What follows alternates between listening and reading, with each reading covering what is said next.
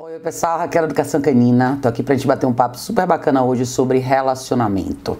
Primeiro, desculpa não ter feito vídeos essa semana, eu fiquei super gripada, milhões de coisas aconteceram, mas é, tô aqui agora pra gente bater um papo que eu acho super legal. Ontem eu tive uma conversa legal com um amigo meu, nada relacionado a cachorro, né? E isso me remeteu a um pensamento importante sobre o trabalho que a gente faz com cães. E como é importante a gente falar de relacionamento. Eu acho que a gente tem um problema sério hoje, social, na, na questão de relacionamento. E quando a gente fala de, de fortaleza, de, de personalidade, para a gente aprender a lidar com relações sociais, relações interpessoais e sociais. E eu estou falando isso diretamente no lado humano, porque esse vai ser um vídeo para vocês, vocês pessoas, para vocês entenderem de verdade aonde estão acontecendo as falhas com os cães de vocês e por que que vocês estão vivendo tantos problemas assim com os cachorros. Eu continuo recebendo semanalmente muitos e-mails que me preocupam muito. Não só de cães da mesma casa que brigam, mas de cães de casas onde só existe um cachorro, mas esse cachorro eventualmente briga com outros cães, ataca outras pessoas, enfim. Essa conversa que eu tive com esse amigo meu ontem é, era uma conversa sobre relacionamento e a dificuldade que as pessoas têm de dizer o que elas pensam dentro de um relacionamento, dizer realmente o que é que pega para elas e, e, implementar essas mudanças e negociar e gerenciar esse relacionamento para que ele de fato evolua. Foi engraçado porque dentro de um cenário onde não existe cachorro, você vê exatamente a mesma fraqueza, só que dessa vez materializada na relação com uma outra pessoa. Quando você vive um relacionamento onde uma pessoa constantemente é, é, abusiva com você no sentido verbal, no sentido emocional, no sentido de ações, no sentido de chantagens, eu quero do meu jeito, você vai ter que fazer. Se você pensar nesse paralelo na relação que a gente tem com os cachorros, nessa inabilidade, nessa inaptidão que a gente tem de pôr o nosso pé no chão e, e, e de verdade estabelecer esses limites dentro de qualquer relação, você entende por que é tão fácil os cachorros se transformarem no que eles são hoje nesses cachorros que não permitem que as pessoas recebam visita em casa, nos cachorros que não permitem que as pessoas se abracem em casa, os cachorros que não admitem que a pessoa sente no sofá no lugar dele. Se você olhar o ser humano do outro lado, você sente aquela dificuldade daquela pessoa que, por mais que às vezes te peça ajuda, não consegue pôr em prática essa, é, é, esse, esse próprio, essa própria sensação, esse próprio desejo dela de tomar de volta o espaço que é dela, que a ela pertence. A gente dá tanta, abre tanto precedente para os outros o tempo inteiro, e esses, nesses grupo de outros, né, então os cachorros no final, que a gente esquece da gente mesmo. A gente aprendeu a viver numa sociedade onde a gente não pode contestar nada, onde a gente não pode questionar nada, onde a gente não pode dar nossa opinião, porque se a gente der nossa opinião, a gente vai ferir o sentimento dos outros. E eu até, eu até fiz esse comentário Ontem eu falei, nenhuma discussão, nenhuma, nenhuma, nenhuma conversa intelectual que vai levar a algum lugar, que vai fazer você pensar, vai acontecer sem necessariamente você tocar naqueles botões que são mais sensíveis do outro. Isso na relação interpessoal, ela é, isso é muito claro. Se você sempre navega numa superfície onde tudo acontece tranquilamente e você não vai despertar nenhum pensamento diferente, você não vai despertar nenhuma reação diferente, você não faz o outro se mover. E se você transfere isso para a relação de vocês com os cães de vocês, é a mesma coisa. Ah, meu cachorro está latindo para as visitas. Ah, coitado, eu vou sempre criar uma justificativa para isso acontecer. Eu vou tentar redirecionar para outra coisa. Eu, eu, eu, é, isso é fugir do problema sempre a gente acaba sempre abrindo mais essa porta e criando uma justificativa para a gente não dar a nossa opinião, porque quem sabe você vai mexer nas emoções do cachorro, quem sabe o cachorro vai ficar chateado com você, ele tá latindo porque ele é assim, ou porque eu não saí com ele, ou porque XYZ. Gente, eu, eu, eu quero trazer a atenção de vocês para esse ponto porque isso está se tornando cada vez mais complicado. A gente está começando a viver numa sociedade onde essas pessoas estão aprendendo a se comportar de uma maneira como sempre sempre como eu tenho que entender, eu tenho que entender, eu tenho que entender, eu não posso julgar, eu não posso questionar. Vocês estão se aprisionando no universo de frustração constante. É, engolindo todos os dias aquelas emoções e aqueles pensamentos e aquelas ideias que vocês gostariam de colocar para fora e vocês não fazem isso porque vocês têm medo. E isso claro na relação com os cães, claro. Eu vejo isso de, muito, de forma muito clara quando eu atendo casos que são mais difíceis. Como é difícil às vezes para a pessoa que vive com aquele cachorro entender que de repente uma hora de place é necessário para o cachorro e não ficar querendo justificar a cada cinco minutos que de repente o cachorro quer levantar para ir no banheiro, de repente o cachorro quer levantar para beber água, ou, ou de repente ele quer fazer alguma outra coisa. A gente está sempre pensando no que o cachorro quer, como a gente está sempre pensando no que a outra pessoa quer. E eu não estou advogando aqui para um mundo sem compaixão e sem entendimento do outro, não é isso. Mas esse mundo só pode existir se essa, se essa compaixão e esse entendimento existir para os dois lados. A gente não pode viver no universo onde sempre a necessidade do outro vai ser maior do que a sua, porque você eventualmente anula a sua própria necessidade. Você passa literalmente a se tornar uma ferramenta do outro. E é isso que está acontecendo no universo dos cães.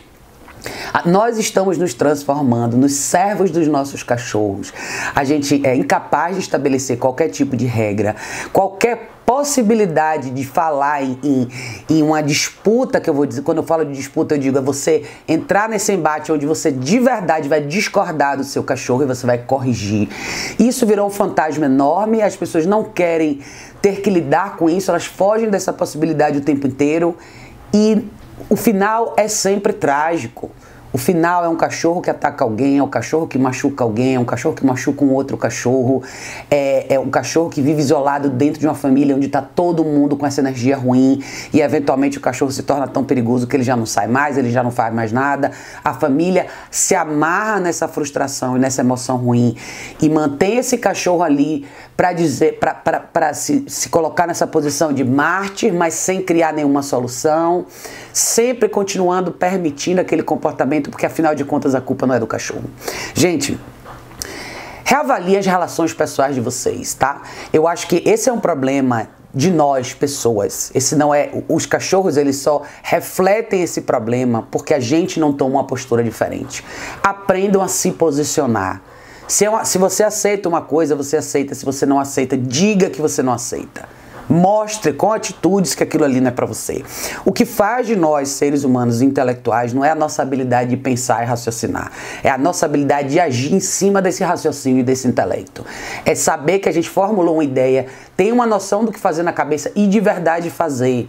Sem execução no final não adianta nada nossa habilidade de, de filosofar e de pensar. Nada disso. Você pode passar a sua vida inteira estudando um assunto que você gosta muito, se você nunca colocar aquilo ali em prática, em teste na prática, você não fez nada. Então, meu alerta para vocês hoje é: parem de negociar demais. Saibam aonde parar a negociação e como começar a pedir de verdade o que vocês querem, seja de pessoas, familiares, amigos, namorados, namoradas e seus cachorros.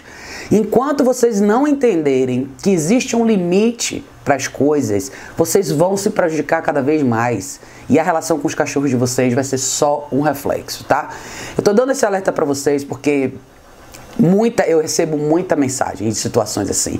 Eu recebo muitas mensagens de pessoas que não aguentam mais, que querem resolver o problema de qualquer maneira e quando a solução se apresenta, a pessoa retrai. A pessoa começa a questionar a solução em si. Porque, ai, mas o cachorro vai sofrer, o cachorro tá com dor, o cachorro tá com isso. Começa a vir toda uma gama de, de, de, de hipóteses que não são reais. E mesmo quando você tem que intervir com o cachorro, mesmo que ele tenha que sentir 3 segundos de desconforto, para que você tenha depois disso uma relação mais sólida, melhor, isso passa a ser inadmissível. Então, quando você avalia as pessoas assim, como que essas pessoas têm relações interpessoais, como é que elas têm casamentos, amizades, relações profissionais? Alguém sempre vai pisar em cima de você. Aprendam a ser fortes. Fortaleza não significa crueldade. Assertividade não significa arrogância. Ser fraco não é bom. Ser vítima não é um, uma honra para ninguém. E há muitas pessoas estão se tornando vítimas da relação com os cachorros. E eu acho que isso é uma coisa séria, é uma coisa que a gente precisa conversar e precisa falar. E para vocês que são profissionais da área, aprendam a ter esse diálogo com os clientes de vocês, aprendam a, a falar abertamente sobre esse assunto. Porque quanto mais a gente encobre e esconde os problemas reais, maiores eles se tornam. Não são todos os problemas que são simples, as coisas não se resolvem da noite para o dia. Existe trabalho a ser feito, sim. existe muito esforço a ser feito para fazer essas mudanças acontecerem.